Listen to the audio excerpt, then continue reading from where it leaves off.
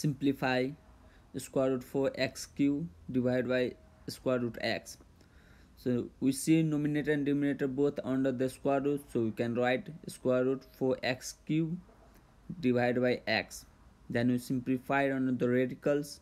We get square root 4 x cube divided by x is x square. Then we separate square root 4 times square root x square. Then we get square root 4 is 2 times square root x square is absolute value of x and then you get our final answer 2x assuming x is not negative